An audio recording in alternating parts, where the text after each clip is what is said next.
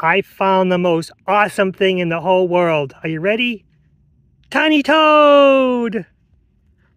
Try to focus on him. Tiny Toad. The most awesome thing in the world are tiny toads. It's so tiny, it's so cute. Oh well. So this is my little tiny toad.